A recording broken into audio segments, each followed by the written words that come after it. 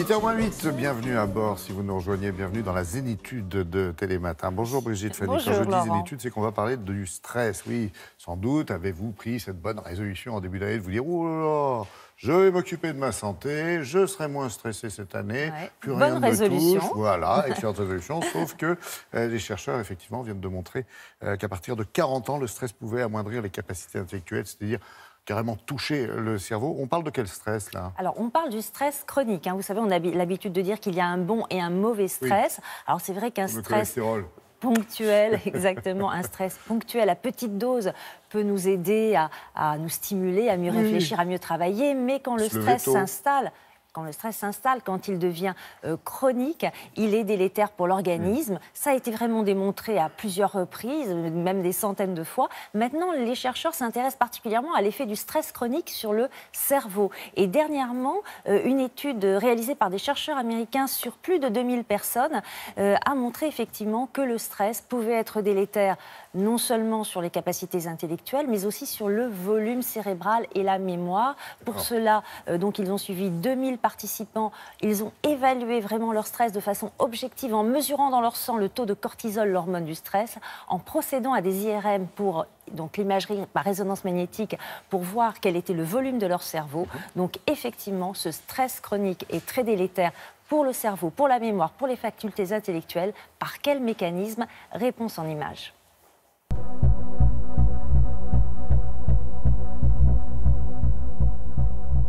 Le stress peut altérer le cerveau par la sécrétion de substances qu'on appelle des hormones, en particulier le cortisol. Et lorsque la personne n'est plus capable de faire face à ce stress, il semble que les, les taux sanguins de cortisol soient augmentés. Cette sécrétion de cortisol va euh, altérer certaines structures cellulaires à l'intérieur du cerveau qu'on appelle la glie. Le rôle de ces cellules, c'est un rôle de, nettoyage et de soutien des cellules nerveuses à proprement parler. Et euh, on pense que le cortisol euh, va progressivement altérer le fonctionnement de ces cellules. Elle joue probablement aussi un rôle sur le fonctionnement des neurones. C'est ce qui explique que les neurones vont avoir du mal à s'articuler les uns entre les autres. Et donc c'est le stress sur le long terme qui va impacter la sécrétion du cortisol et c'est la sécrétion chronique de cortisol qui va impacter l'articulation entre les neurones. En pratique, le stress chronique euh, entraîne une modification des capacités attentionnelles, des capacités de concentration, donc classiquement tout ce que l'on appelle la mémoire de travail et notre capacité à exécuter nos tâches quotidiennes.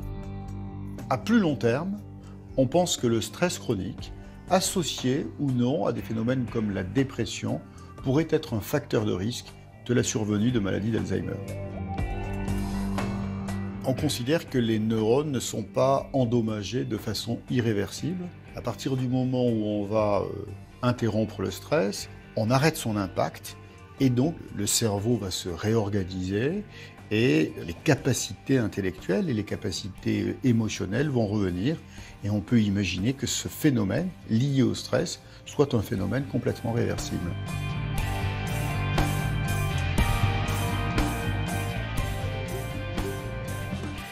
Oui, Alors, étude réalisée à partir de 40 ans, mais on imagine que ça peut toucher de cette même façon euh, à tous les âges, quoi, toutes les personnes. Ah bah oui, on peut imaginer qu'avant 40 ans aussi, un stress chronique affecte le cerveau. Comment on lutte alors?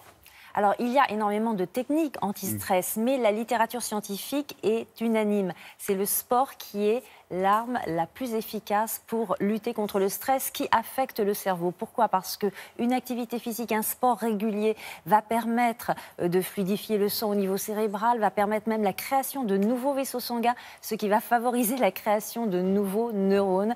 Donc tout ça va permettre euh, de maintenir euh, le volume de la matière grise, le volume cérébral et donc de lutter contre les effets pervers du stress au niveau du cerveau.